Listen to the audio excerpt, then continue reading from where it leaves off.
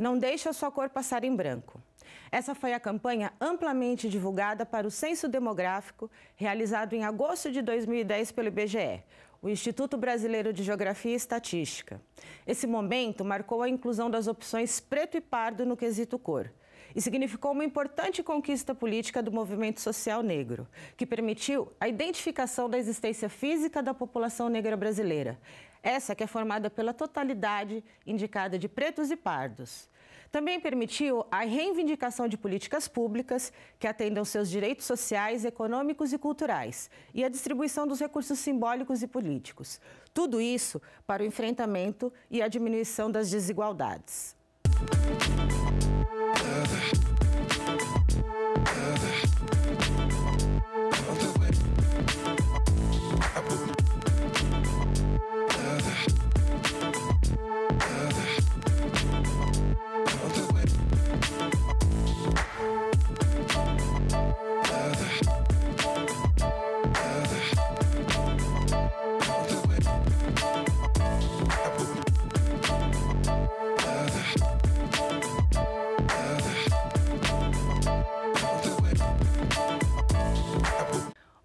Começa agora mais uma edição do Educando para a Diversidade. Esse é um espaço de diálogo que conta com o apoio do convênio Unesp Santander para valorização da diversidade em busca de uma sociedade mais equânime. Nós vamos tratar hoje de questões referentes aos pretos e pardos no nosso país. São diversos os tons de pele e diferentes tratamentos para cada um deles. Mas como fica a população negra em face aos preconceitos sofridos? E para nos auxiliar nesse, nesse programa de hoje, nós recebemos aqui a Andressa Gaia, que é docente da Unesp de Bauru e coordenadora na unidade do NUP, que é o Núcleo Negro para Pesquisa e Extensão na Unesp. Nós recebemos também a Mônica Abrantes Galindo, que é professora de Física do campus de São, São José do Rio Preto e é integrante do NUP.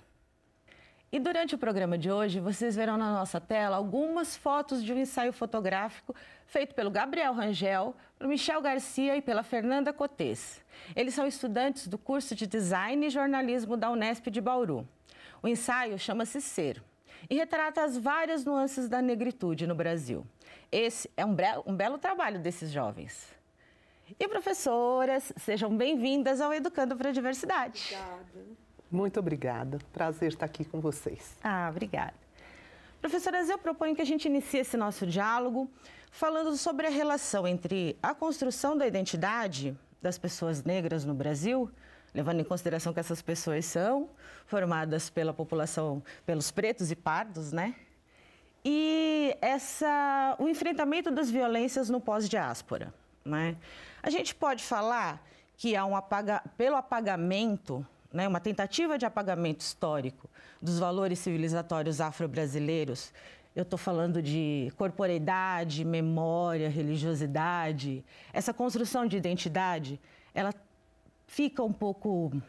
sofre um pouco de dificuldade na sua construção? Fala. Olha, essa dificuldade você está sendo generosa, né? mas tudo bem. É uma provocação. É, ela sofre sem dúvida nenhuma, né? muita dificuldade. E acho que até quando a gente pensa na questão da diáspora e do, do próprio processo de escravização, a gente tem que falar sim de perda de identidade. Porque senão você não, não tem esse processo. Então você tem que falar de, de silenciamento, você tem que falar de, de distanciamento da família, você tem que falar de distanciamento da tua terra, da tua cultura, de você perder ou, ou um esforço é, para que se perca quem você realmente é né? e inclusive de um, de um ódio generalizado que tem que ser é, cultivado contra essas pessoas para que justamente a gente possa escravizá-los. Então, tem, é, é, a essência disso é a gente pensar em perda de identidade, em, em silenciamento, em desconstrução daquilo que pode ser alguma coisa própria da, de uma cultura de verdade. Né? Uma desvalorização desses, desses referenciais porque como que o dominante, o colonizador, ele consegue manter essas pessoas nesse, nesse, nesse sistema escravocado sem minimizar, sem diminuir, sem né, suprimir essa, é, essas identidades, essa cultura, os meus referenciais. Então, não tem como a gente pensar, falar do racismo sem falar nesse processo de, né, de extermínio dessas, dessas epistemologias, né, do etnocídio dessas, dessas culturas africanas que para cá foram, né, foram trazidas, traficadas e oprimidas. Então, quando a gente fala de perda de identidade, é, eu penso que não é no sentido de nós, negros, deixarmos as nossas identidades, ah, vamos, né, vamos deixar para lá, mas muito mais no processo de fazer com que eu não me reconheça mais naquelas, naquelas referências, naqueles referenciais. Então, eu penso muito que é, esse processo colonizador faz com que a gente realmente negue por uma questão de obrigação. Eu tenho que negar, mas não porque eu quero, mas porque eu sou obrigada, claro. obrigada a negar esses meus referenciais. E justo essa tentativa, né, de, de, de sobrepor né, um, uma forma, uma visão de mundo, e a gente está falando aí da eurocêntrica, né, sobrepor uma visão de mundo a, a, a, várias outras, né? E aí hoje a gente tem uma forma do racismo brasileiro se pensar, né, que foi estruturado lá atrás, né, historicamente, e pensou, se estruturou estrutural sistemicamente, pensando justamente nisso, nesse apagamento, sobrepondo uma estética, um olhar, uma visão de mundo, né, que apaga a, a, existência biológica e física da população negra. Né? Essa violência é, que passa por uma coisa que a gente pode, que eu queria abordar aqui com vocês, a desvalorização da estética negra em detrimento da estética é, branca. Né? O quanto isso causa dano para a construção dessa nossa identidade. É, a gente, eu percebo, assim, eu sou professora, trabalho com, com arte, com dança, então eu percebo que em relação, por exemplo, às danças de matriz africana, elas são usadas em grandes eventos, né? Então a gente pega os últimos eventos que teve é, Olimpíadas, Copa.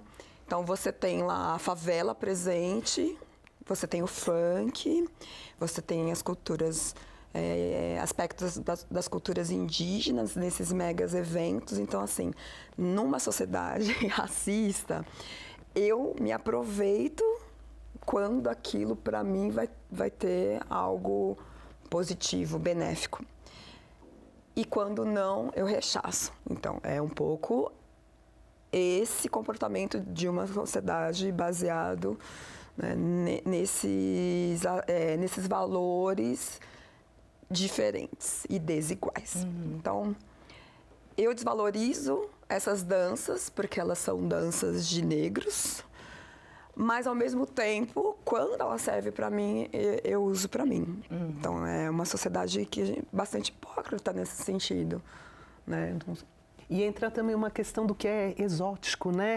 Então aí é a dança, não é verdade? Aquilo é. é diferente, é, é, é bonito, é bonito, mas é, é, é, esse bonito, né? É um bonito assim que é porque aí é diferente, alguma coisa assim, né? Que tem um, um tom assim ruim, né? Não, não, é, não é o que é, não é uma beleza, não é do, de uma arte é, diferenciada, mas é o que desejável, é o exótico, é desejado, desejável, verdade.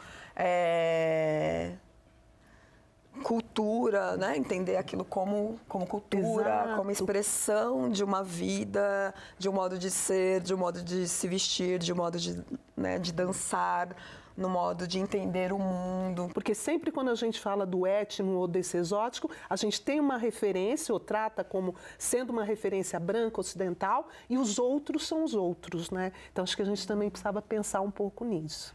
Pois Sim. É, e o, como olhar do outro é sempre muito importante, né?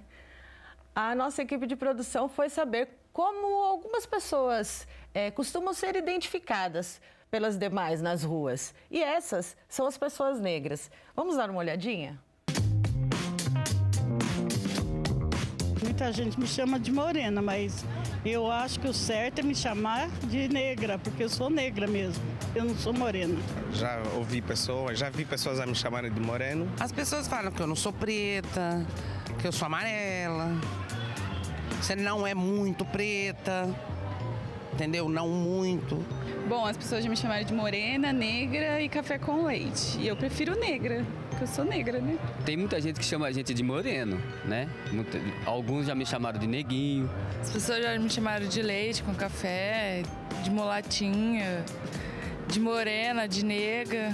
Me chamam é, de negrão, é, moreno, é, cor, café com leite. Às vezes falam que você não sabe o que você quer, você é amarelo, você não é nem nenhuma cor nem outra, você não, não se encaixa em uma posição, mas eu me considero negro e queria ser me chamado de negra. Eu me sinto muito, muito ofendida quando me chamam de morena, porque eu não sou morena, eu sou negra. Negra. E, tipo, tá claro que eu sou negra e, tipo, pra mim, moreno é uma pessoa do tom da pele branca com os cabelos escuros.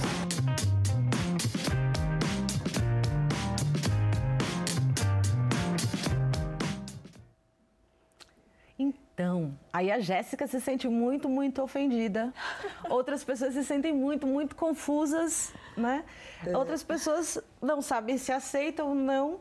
E como fica, não é? É, Isso é confuso, isso é ofensivo, né? Como é que a gente é, trata isso politicamente? Como é que isso acontece?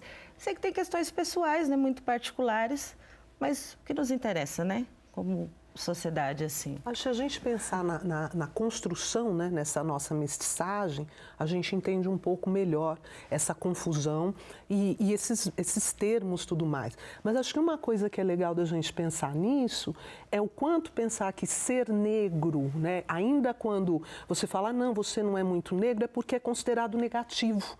Então, se eu sou sua amiga, eu falo assim, não, mas você não é muito preta, né? E, e- entendo isso como sendo um elogio, por quê? Porque ser preto é ruim.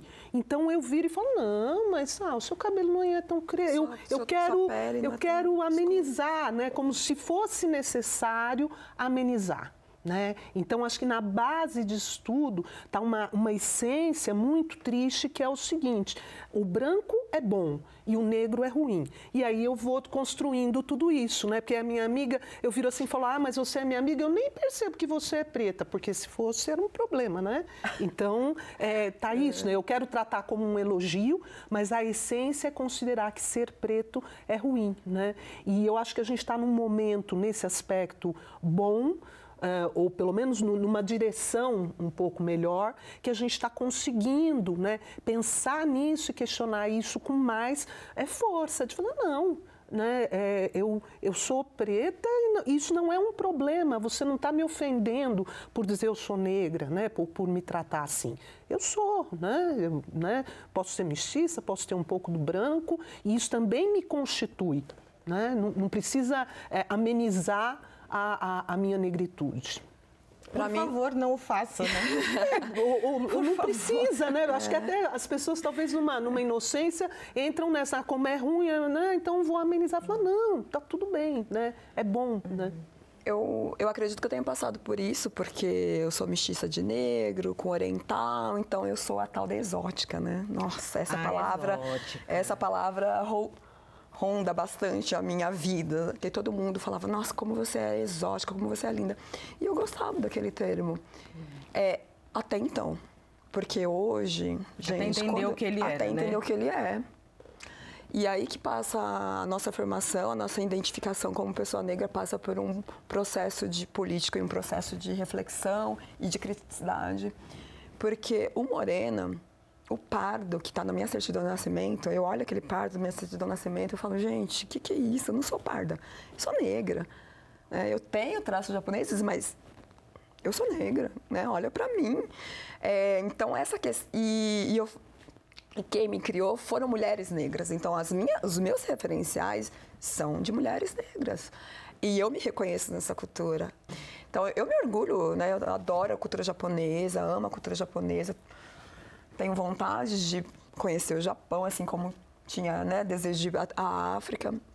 Consegui realizar esse desejo, mas quando a gente pensa a sociedade brasileira, a questão acesso à educação, acesso né, é, a trabalho, a gente não está falando de igualdade. De jeito nenhum. Então, um mestiço, nesse caso eu, por exemplo, né, morena, mulata, seja o que for, é, a gente não está em pé de igualdade. Exatamente. Então, para mim, essas questões são questões que precisam ser refletidas, debatidas, não só dentro do movimento negro, por nós, pessoas negras, mas por pessoas brancas. Sim. Chamar essas pessoas para esse debate. Quando a gente fala né, lá do, do, do colorismo, da tal da pigmentocracia, uhum. né, um tratamento diferenciado, mas que serve muito mais como uma, um, uma desarticulação nossa, como povo negro, é, que esquece, por exemplo, que o povo negro não é um povo homogêneo, né? que foi Sim. isso que a gente falou. Então, peraí. Então, os tons de pele fazem parte dessa,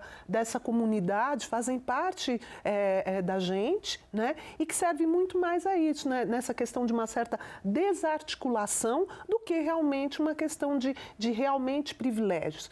E uma palavra que eu acho legal é o seguinte, quando a gente fala de privilégios, de alguma coisa relacionada com esse colorismo, a gente está falando de tolerar tolerar não é aceitar. aceitar. Uhum. Então, tolera-se um pouco mais e que também tem um, um ponto seríssimo de um, de, um, de um, certo narcisismo, né? Que a, a, a, Quilomba fala que é muito legal, né? Porque aí eu te tolero mais, o, a branquitude, porque ela vê em você alguns traços dela mesma, né? É. Então, ah, então você merece, você tem mais traços parecidos com o branco, então você tá pode vir, time, né? está mais para cá. Então eu te tolero um pouquinho mais, né? É. Porque eu vejo, não é uma, uma valorização, ainda que seja de uma mestiçagem como um todo, mas é daquilo que eu vejo de mim em você. você. E aí é legal. Então você pode, pode ficar mais um pouquinho só, porque também não é, não vamos exagerar, né? Não é assim. Pois é, e esses aspectos, né?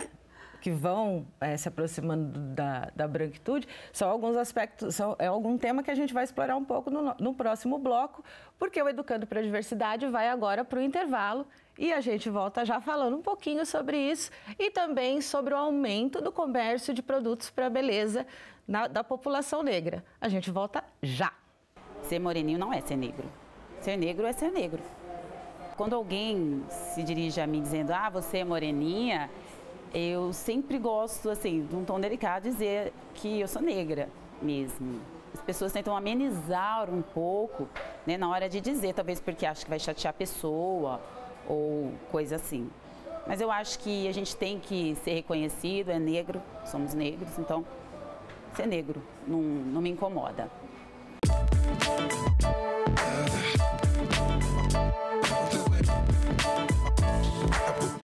O coronavírus é uma coisa que é muito feia. Ela pode fazer muitos clipes maus. Para não se contaminar, você precisa tomar cuidado.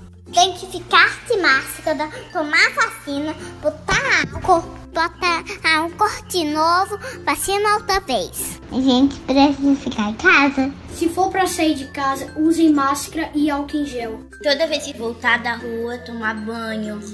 Quando chegar com algum sapato sujo, passar álcool na sola.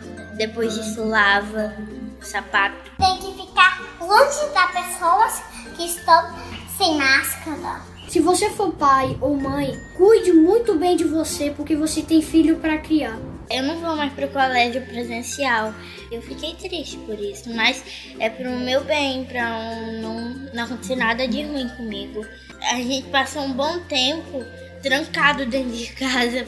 Aí esse ano tá praticamente a mesma coisa. Essa doença é muito forte e pode matar várias pessoas. Quando o coronavírus acabar, eu vou para um parque que tem piscina de bolinha embaixo. Mas quando passasse, passasse mesmo, nossa, todo mundo que eu chegava, que eu ia ver na rua, eu ia dar um abraço.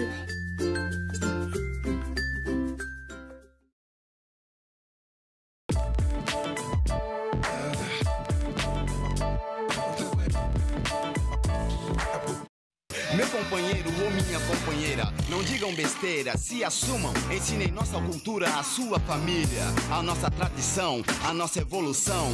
Tudo isso está em suas mãos.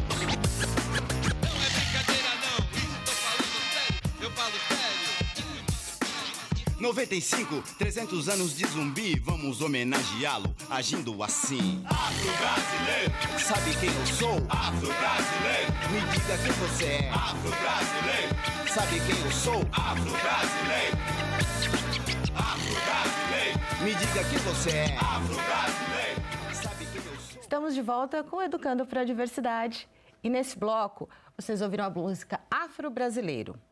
Essa tem tudo a ver com o tema que a gente está tratando hoje, que cerca as questões da construção da identidade dos pretos e pardos no Brasil. E para nos auxiliar nesse debate hoje, estão com a gente a Andresa Gaia, que é docente da Unesp de Bauru e coordenadora na unidade do NUP, que é o Núcleo Negro para Pesquisa e Extensão e a Mônica Abrantes Galindo, que é professora de Física do campus de São José do Rio Preto e integrante também do NUP. Professoras, a gente falou no último bloco, né? Estava terminando a discussão, queria retomar aquela ideia, né? Que você falou, professora Mônica, da, dos pardos e de alguma, algumas questões de privilégios, privilégios que cercariam as questões dos traços físicos, porque a gente tem uma população brasileira, é, população negra brasileira composta por pretos e pardos de diversos tons de pele, né?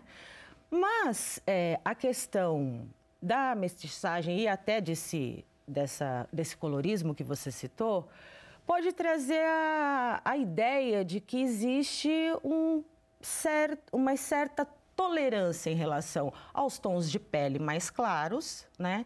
E eu acho que não é aceitação, né, que a gente falou, é uma tolerância, que você disse, né? Mas é, isso não, não quer dizer que essas pessoas não enfrentam as dificuldades de um racismo estruturado que é histórico e foi organizado na, naquele apagamento, projeto de apagamento da presença do negro no Brasil, não é isso? Exatamente, né? Acho que a gente volta para aquelas questões de olhar, a, olha a nossa sociedade, né?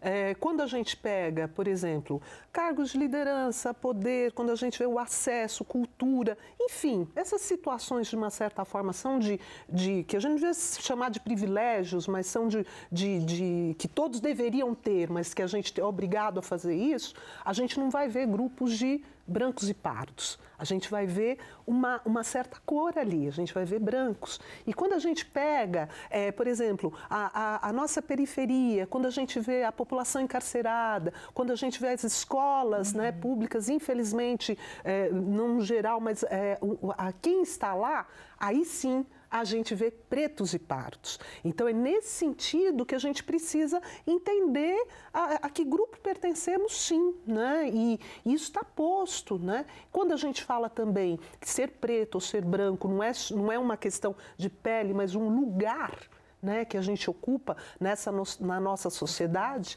E no Brasil, isso é muito forte, né, porque parece que até é, é, essa suposta permissão faz a gente poder andar de um, de um, de um lado para o outro. Não é verdade, né? a gente está colocado ali.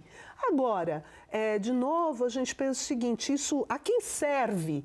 Essa discussão, essa coisa de preto mais claro, ah, você não é tão preta assim, né? Como se fosse uma coisa negativa ser preto, né? Serve a uma questão do racismo mesmo, não é? Porque divide de alguma forma, né? Não considera a nossa a nossa completude como mestiços, como pardos, seja lá como a, como a gente fala, e na verdade joga, né? Com uma com uma certa alguns privilégiozinhos ou algum acessozinho ou alguma tolerância distânciazinha um pouco maior e que até chega, como foi dito mesmo, confunde né, é, o lugar onde nós estamos, né, de que lugar que a gente está falando.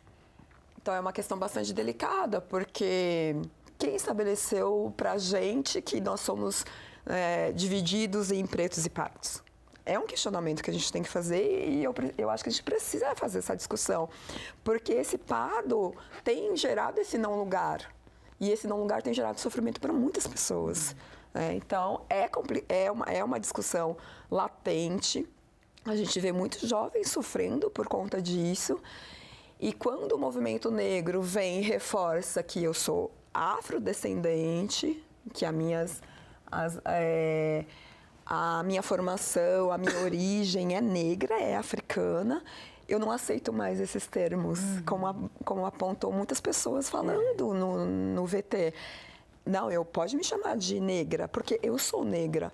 Então, essa discussão veio e hoje está um pouco mais fortalecida e abrangendo uma discussão maior, porque o movimento negro se, uh, se organizou para ampliar essa discussão e para afirmar a nossa, a nossa identidade negra.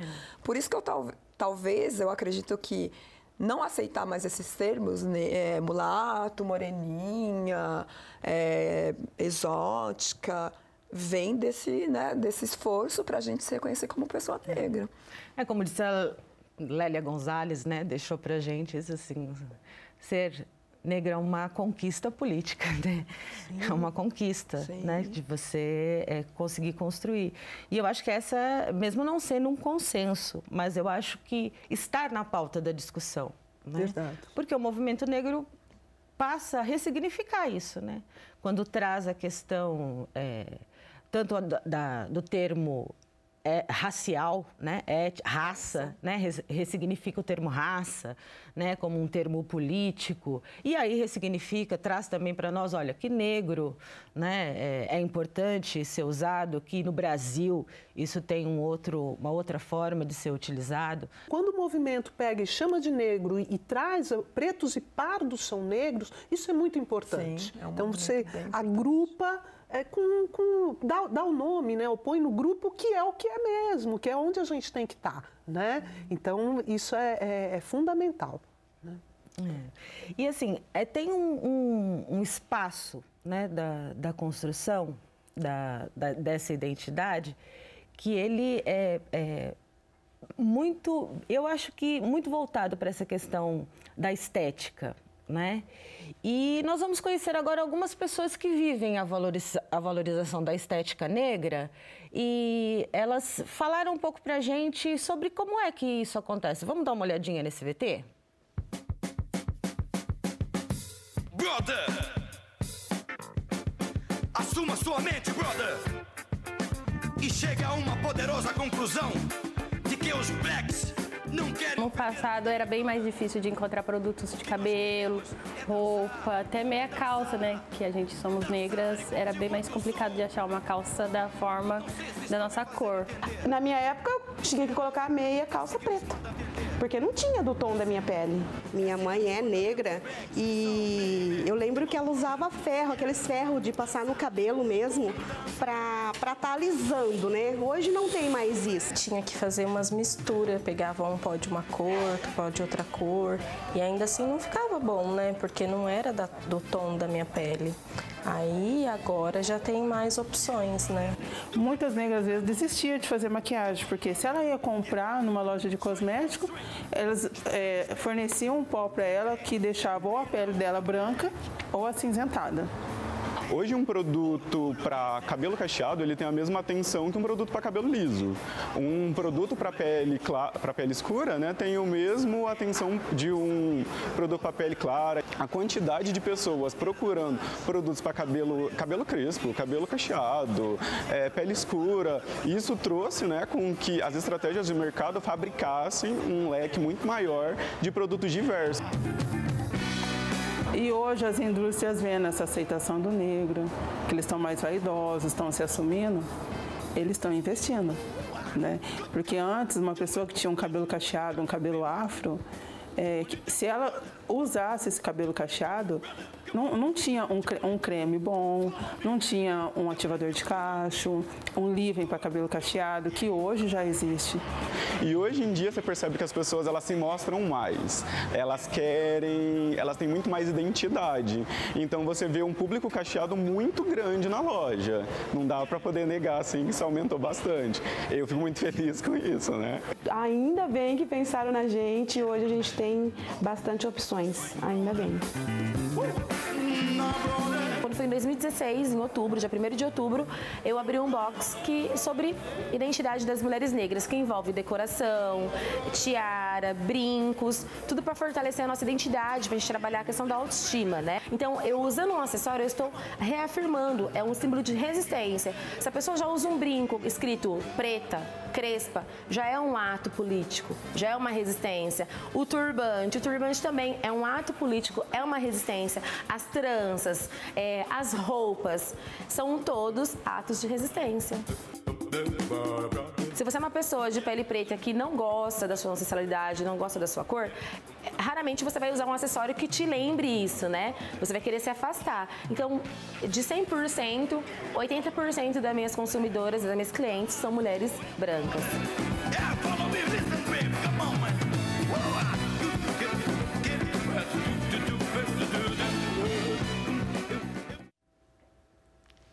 Nós temos um mercado, um, comer, um mercado para produtos de beleza, em que nós podemos ter a nossa presença valorizada para fazer a propaganda desses produtos, né? Mas muitas vezes nós temos esse mercado aproveitado por pessoas que usam, né, de uma chamada afroconveniência para poder é, fazer a propaganda desses, desses mesmos produtos. Eu acho que vocês gostariam de comentar sobre isso, fazendo essa relação com os produtos de beleza, não é? Ai, ai, ai. Ter produtos é muito bom. E não deixa de ser um reconhecimento, né? Porque você pensa, se alguns anos atrás você chegava e achava que ah, o meu cabelo e o cabelo de uma moça lisa por aqui era a mesma coisa, não é né? Óbvio que não é, mas você não tinha um produto específico. Então, acho que isso é um avanço quando a gente pensa na questão das invisibilidades, e aí também a gente era invisível nessa questão do mercado. Né? Então, não tem, não tem produto, não tem um pó que te sirva, não tem nada, você gostando ou não, isso não existia. Então, quando você tem, falou, isso é bom, né? Eu posso ter uma coisa específica, posso ter uma maquiagem que eu goste, enfim, isso é muito bom. Eu só acho que a gente não pode ser inocente ter esses produtos não tem nada a ver com o combate ao racismo, uma questão de direitos humanos, uma questão de, de olhar para a população negra no sentido que acho que a gente está falando aqui. Aqui a gente está falando na nossa sociedade, que é uma sociedade capitalista, que nós negros fomos vistos como um bom nicho de mercado. Então, é, a gente pode até tratar como Afinal um bom reflexo. De conta, 50% da população, né? Então, ó, então... acordou, né? E um reflexo De acordo bom, com o IBGE, não é? Pretos e pardos, não população é? negra. E um reflexo que eu acho, aí eu quero ser até um pouquinho positiva, né? Para não ficar muito assim, falou, ó, é um reflexo bom que se o mercado viu, significa que a gente está tendo um, um, pouco de dinheiro, está tendo um pouco mais de dinheiro a ponto Presença. de ser interessante. Então, tudo bem. Tem outra questão que é assim, quem ocupa os lugares lá, né, nessa empresa que pensa esse produto, que pensa o design, que pensa as cores, que pensa a embalagem, são pessoas negras. Então, é, esse questionamento é um questionamento importante, porque, ok, eu quero produtos para usar, mas eu também quero que meus pares ocupam esses espaços. Né? De, de pensar uma linha e, e, e, ter essa linha ter relação com, a minha, com, a minha, com as minhas culturas, com a minha cultura. Então, essa é uma questão que, que eu acho que é importante a gente também questionar. A segunda questão, que quando a Mônica fala que esses produtos não vêm para combater o racismo, superar esse racismo, é o tipo do, do slogan, da frase que vem nesses produtos. Então eu lembro que quando eu comecei a, a usar né, produtos para cabelos cacheados, é, diminua o volume. Também. Domine né? os seus cachos. É. Diminua o frizz. Domine eu, os seus cachos. Tipo, deixa meu frizz, o né? domínio é ruim pra gente, não é verdade? Domine, não é, então, dominar não é um bom verbo. Reforçando o que a Mônica apontou, esses produtos, ela, eles estão voltados para um nicho do consumo, do lucro, do mercado.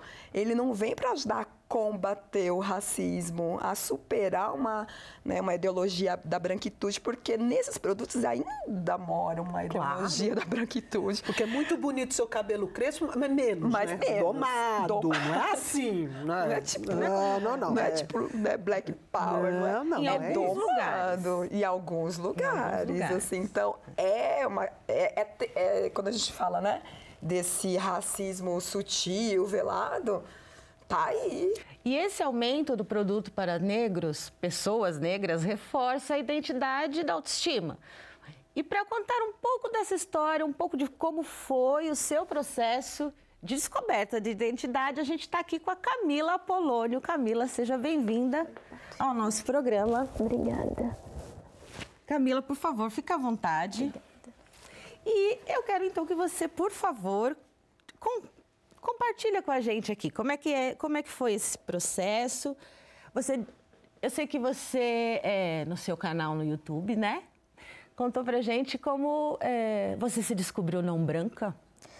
Então, a primeira vez mesmo que eu ouvi que eu não era branca foi quando eu fazia estágio na Defensoria Pública com o Dr. Alan, que é um homem negro. E ali na banca só tinha pessoas negras, só que até então eu não me via. Na verdade, mesmo depois disso, eu não me via. É, ele chamava a nossa banca de banca da pretitude, da negritude e tudo mais. Mas eu não me enxergava como negra. É, até porque eu sou filha adotiva, meus pais são brancos, meu pai é branco, do olho claro e loiro. E então eu cresci ouvindo que eu era morena, que eu pegava cor fácil, escutei muito que eu era exótica, é, moreninha e tudo mais, café com leite, cor de chão também, eu escutei. Cor de chão. Cor de chão? Cor de chão. chão Já escutei que eu tinha cor de chão. Mas você sabia que era adotada? Eu sabia, sempre soube que era adotada, desde bebezinha. E até que um dia eu estava com meu marido na casa de uma amiga nossa, a mãe dela estava lá também. E se referindo a mim, né, a mãe dela falou, mais uma preta que a gente vai colocar para desfilar, para representar a gente. Eu falei, nossa, eu sou negra então. E eu não sabia, então eu fiquei um mês basicamente com isso na cabeça e pensando, eu sou negra mesmo. Daí que eu fui entender toda essa história. Ela me explicou um pouco do colorismo também. Porque essa fala preta, quando ela diz assim, é mais uma preta que a gente coloca para representar, é porque essa pessoa já era ativista, já tinha ação, porque esse, é, essa fala foi uma fala de uma pessoa que está lá fazendo um movimento e quando ela fala assim, representar, significa que você era uma pessoa importante para aquele espaço. Sim, eu me senti totalmente inserida em algum lugar, porque até então, é, como tinha essa questão de me chamarem de morena e tudo mais, eu me sentia num limbo, porque ao passo que eu queria fazer alguma coisa no cabelo, é, vamos supor, luzes loiras. Ah, mas não combina com você porque você não é branca. E por um outro lado, sabe, era muito contraditório. Eu me sentia realmente num limbo. Daí depois disso que a Carla falou que é uma militante daqui de Bauru, participa do Turbantaço e tudo mais, ela foi me inserindo nessa cultura negra que eu fui entendendo cada vez mais e, e senti que eu estava em casa, estava no, no meu lugar senti que eu estava no meu espaço. E você teve. E como é que foi isso em casa com a sua família? Aí você diz assim: Nossa, agora eu já sei. Né? eu não sabia, mas agora eu já sei. Eu já sei que, onde é que eu tô, como é que eu sou, a que grupo eu pertenço. Como é que foi? Teve um estranhamento? Você, como é que você lidou com isso em casa e como é que a sua família reagiu? Minha mãe, ela entende bem mais que o meu pai. Meu pai olha para mim e fala: "Você não é preta, você não é negra, você é super clara" sabe? Então eu já não converso mais tanto assim com ele sobre isso. É um pensamento que eu já percebi que eu não vou mudar, mas a minha mãe me respeita bem mais como uma mulher negra. Eu me sinto emocionada quando eu vejo uma, uma jovem falando que ela se descobriu negra, porque esse também foi o meu processo. Cada dia, se cada menina se reconhecer negra, significa que a gente está fazendo o nosso, o nosso papel bem, como educadora, como professora, assim. Eu acredito muito nisso. E todo essa, esse processo de, é, de, de descobrimento, de possibilidade de se assumir, é, vai chegando também numa época muito tardia para muitos de nós, para mim também, né? É, é, quase como uma permissão, né? Você fala assim, olha, você, pode, né? Então, isso também, é, é, até eu digo que é um, é um, momento que eu ainda vivo, né? Quer seja em relação à estética, ao cabelo, ao poder falar é, sobre esse assunto? É, é, muito particular, né? Mas, assim, é, é para todas nós. Né? Porque, assim, é, é, são várias histórias que vão repetindo que temos enfrentamentos. Nós somos né, uma mídia radical, nós somos um discurso político. Né? A nossa presença é, é, é, um discurso, né? E a nossa construção de identidade é isso, o olhar para a gente é isso. Então, nós estamos nesse enfrentamento cotidianamente, né?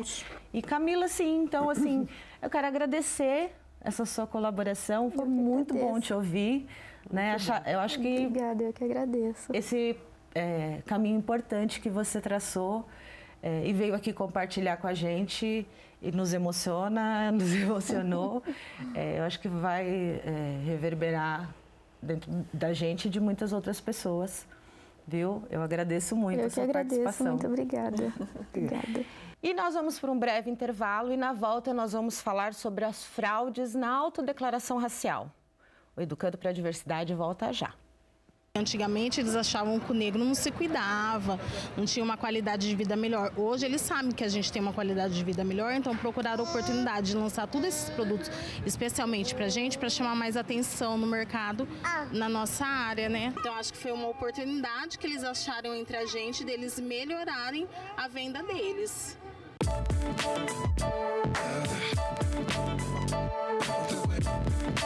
Música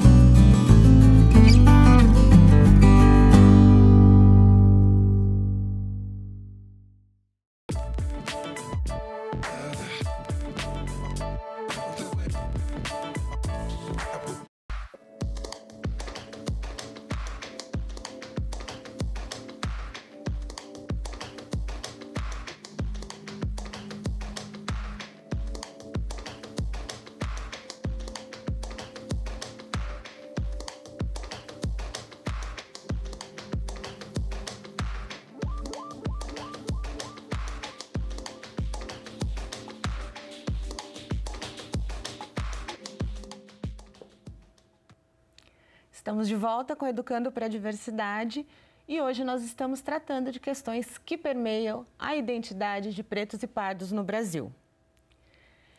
E, e contribuindo com o nosso diálogo de hoje estão Andresa Ugaia, que é docente na Unesp de Bauru e é coordenadora na unidade de Bauru do NUP, que é o Núcleo Negro para Pesquisa e Extensão da Unesp. Também conosco está a Mônica Abrantes Galindo, que é professora de Física no campus de São José do Rio Preto e também integrante do NUP. Na nossa tela, vocês estão conferindo o ensaio fotográfico Ser, que é do Gabriel Rangel, do Michel Garcia e da Fernanda Cotes. E é uma bela mostra da identidade dos pretos e pardos aqui no Brasil. E a Unesp foi a primeira universidade pública do estado de São Paulo a implantar o sistema de reserva de vagas para alunos que estudaram o ensino médio integralmente em escolas públicas. Sendo que 35% dessas vagas são destinadas a pretos e pardos e indígenas. Também ela foi a primeira a expulsar no final de 2018 os integrantes que fizeram uma falta, falsa declaração racial. Como nós vimos aqui nas manchetes, no começo desse bloco. Professoras, é, nós temos assim as comissões que avaliam as autodeclarações, né? Quando os, os estudantes ingressam é, no, na, no vestibular, eles fazem uma autodeclaração e depois nós passamos por um processo de verificação dessas autodeclarações. Como esse processo funciona? É, Houve-se uma, uma grande quantidade de denúncias sobre as fraudes desse processo. Então, a instituição se vê obrigada a investigar essas denúncias, porque ela poderia sofrer uma sanção do Ministério Público. Então tem essa questão que é uma questão bastante importante de ser apontada. É, e isso a universidade tem autonomia, então ela só não faz se ela não quiser. Como existiu, né, é, teve início essas, essas denúncias, a, uni, a universidade, Unesp, se viu obrigada a organizar uma ação para verificar se esses alunos que, que, que entraram pelo sistema do vestibular. Em 2018, então, criou-se comissões locais, que foram chamadas de comissões locais em diferentes campos da Unesp. E essas comissões tinham, foram compostas de várias de pessoas, de é, docentes, discentes, funcionários técnicos administrativos, então tinha uma composição mista. E esses alunos então eram chamados todos os alunos que entraram, primeiro foram chamados os alunos que foram denunciados e foram, foi feita um, uma entrevista com esse aluno. É, depois foram chamados todos que, que, entraram, que entraram pelas cotas. Por quê? Porque havia aí uma discussão sobre e quem não foi denunciado, mas é branco. Então, o que, que a gente pensou que seria né, o mais correto? Então, chamar todos. E aí foi feito é, essa chamada e era uma entrevista com essa comissão local que foi feita. Isso foi feito ano passado, né, Mônica? Esse ano já teve uma, já houve uma mudança, já criou-se uma comissão local, né, em São Paulo, né, uma comissão central, desculpa, central. É, que os trabalhos são feitos lá na, na, reitoria em São Paulo. São professores de vários campos, são cinco pessoas, eu acho, acho que, né? que é. Cinco pessoas. E aí são três fases. Primeiro, por foto, por imagens de vídeos que foram gravadas durante matrícula. A segunda fase é uma entrevista por videochamada.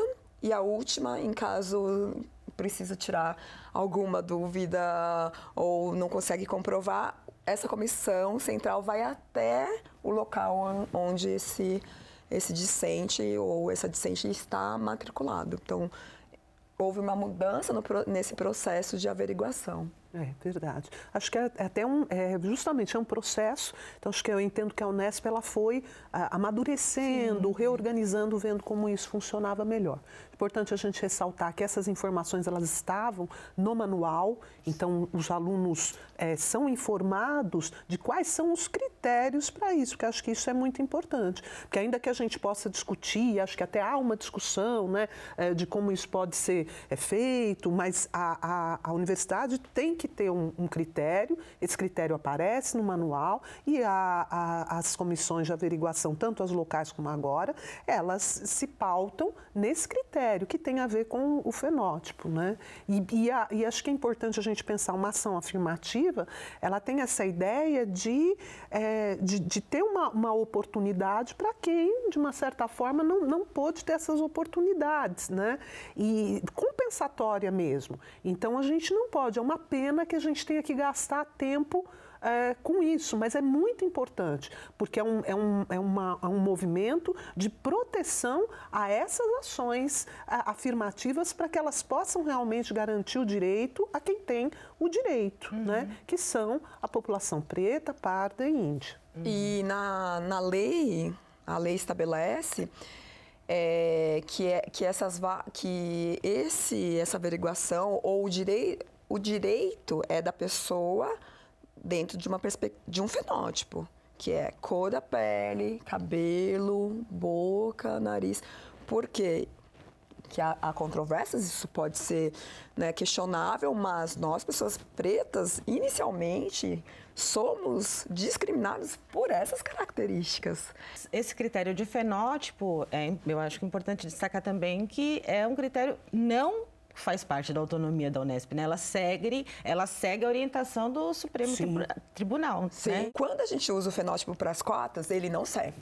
Nossa, mas vocês estão reforçando essa questão racial? Raça não existe, né? A gente já discutiu isso. A gente só existe uma raça humana, ok. Né? Então, quando é para cotas, fenótipo é uma coisa ruim. Quando é para discriminar né, para continuar com, os lugares, com as questões de privilégio, aí eu uso o fenótipo. Se eu sei onde encontrar uma pessoa de determinada cor, isso se chama apartheid. É.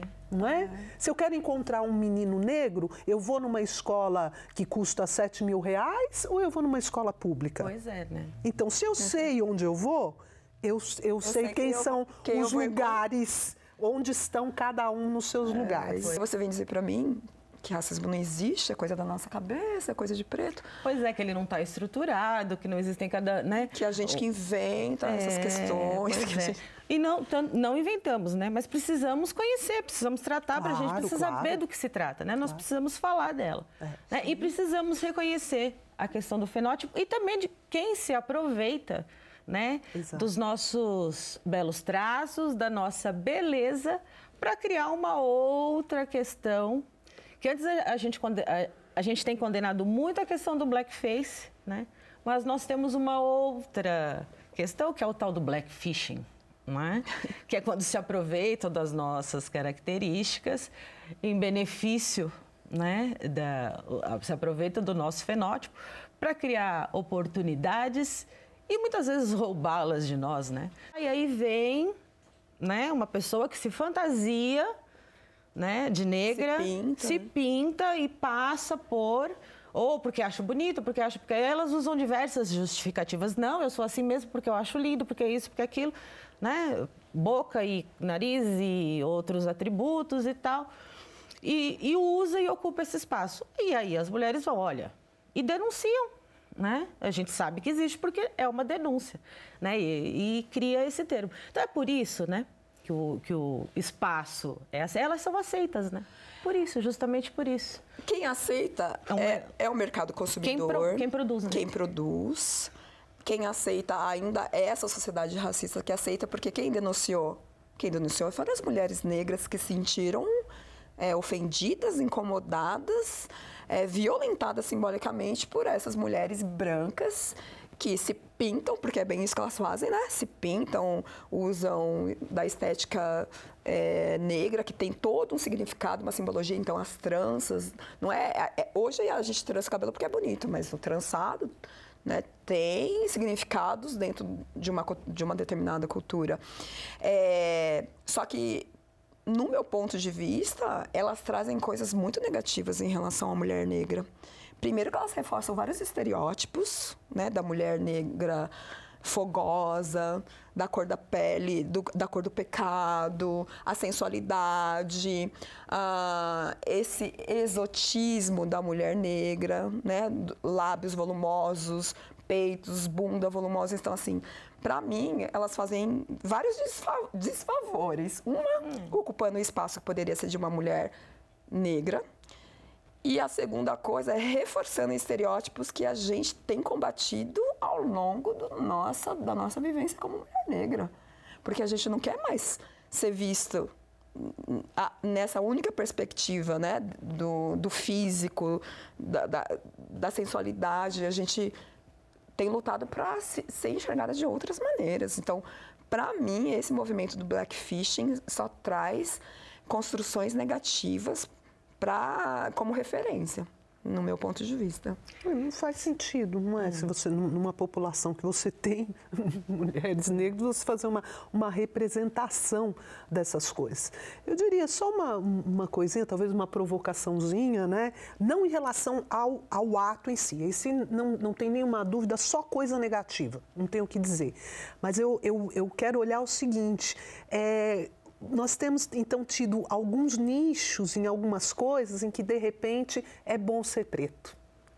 Então, isso, isso acho que a gente pode olhar com um certo bom, bons olhos nesse sentido. Mas é claro que quando o outro, de novo, né, se apropria, quando eu tenho um lugarzinho que é melhor, aí eu tenho outro que vem e se apropria. Uhum. Mas acho que a gente pode reforçar um pouquinho, olha, há lugares então que isso começa a ser visto de uma outra maneira. E isso é bom. Falo assim, olha, é legal eu ser preta, é legal eu ser negra. Então, tanto é que estão pegando. Mas é um enfrentamento constante. As conquistas conquistas, elas, você conquista um espaço, mas é, um, é uma luta para conquistar, é uma luta para manter, né? Mas nós não estamos sozinhos no enfrentamento. Porque na contramão do Blackfishing, a nossa equipe foi conhecer uma arte educadora que tem como foco do seu trabalho a cultura afro-brasileira. Aí eu convido vocês para dar uma olhadinha que vale a pena. Quando eu comecei a despertar por essa questão do, da, da negritude, eu fui fortemente impactada pelo racismo quando eu vim morar em Prudente. E eu fiz 73 entrevistas de emprego aqui. Todos não.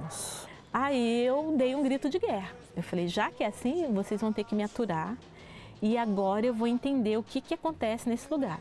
E foi uma decisão política mesmo que eu tomei com a minha vida e com a perspectiva de trabalho. A gente começou com muito pouco recurso na calçada de casa, sem material. Foi a partir das pessoas doando, ajudando, contribuindo, dando uma ideia, uma sugestão. Então foi assim que eu é, comecei a, a, a me enfronhar de uma forma muito profunda na cultura africana.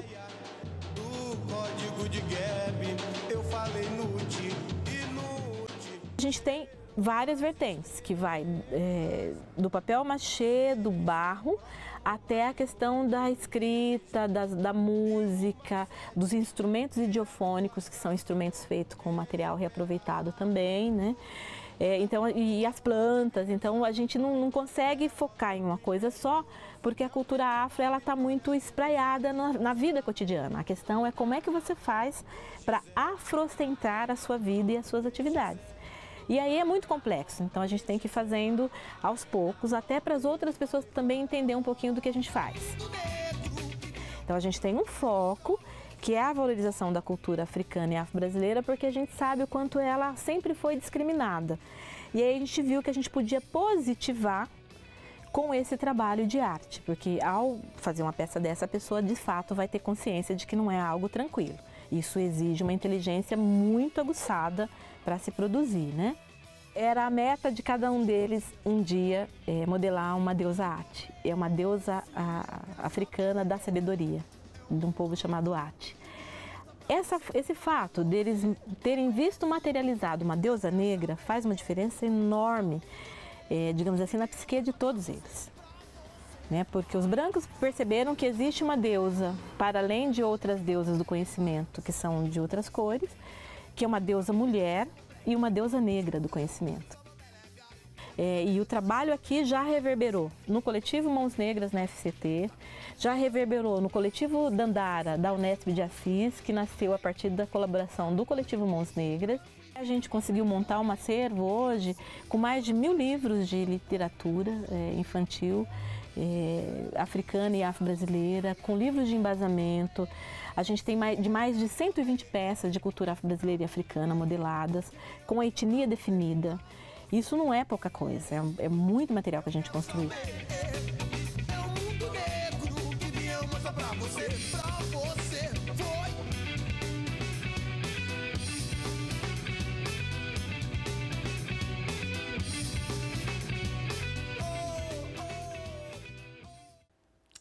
Parabéns, Ivonete. Seu trabalho é muito importante para a gente, não é, professoras? É, aí que né, conforta ver uma mulher negra, que sou, né? Quantas entrevistas de trabalho sem conseguir ir fazendo isso. Então, é isso, é, é isso que, que eu gostaria de ver nas mulheres negras, né? mulheres fortes e que fazendo um trabalho, valorizando a cultura. Aí que está a importância dessas pessoas, né? dessas mulheres. Muito legal. E legal ver isso, né? ela transformar uma, uma experiência que foi ruim e que a gente não quer que aconteça, né? não é porque que não aconteceu, ela, ela inverteu. Mas que bom, pegou aquilo e transformou em alguma coisa tão, tão boa, tão, tão demonstrando a, a, a cultura, fazendo realmente, virando aquele jogo de mostrar alguma coisa muito interessante e, de novo, mostrando aquela força que ela e tem. E com uma griot, né? né? Uhum. Uma verdadeira griot passando isso, porque a gente conseguiu ver muitas crianças no, no quintal dela, sentado, fazendo junto verdadeira griot, né? Pois é, nossa intenção é essa, fazer junto, né? E assim a gente agradece a companhia de vocês aí. E aqui é de vocês, fazendo junto com a gente, professoras, esse programa maravilhoso. Obrigada. Muito obrigada. Prazer, um prazer. estar com vocês, Foi né? Muito bom. Muito, muito bom. bom. Obrigada. Obrigada. O Educando para a Diversidade fomenta discussões sobre a inclusão e a diversidade e tem o objetivo de contribuir com uma sociedade mais empática. E aí eu lembro que esse, esse programa ele tem o convênio do, do Santander. No nosso canal no YouTube, você fica por dentro de todas as nossas novidades. Você acompanha os episódios já exibidos, pode se inscrever e eu espero você no próximo episódio. Até lá! I put, uh,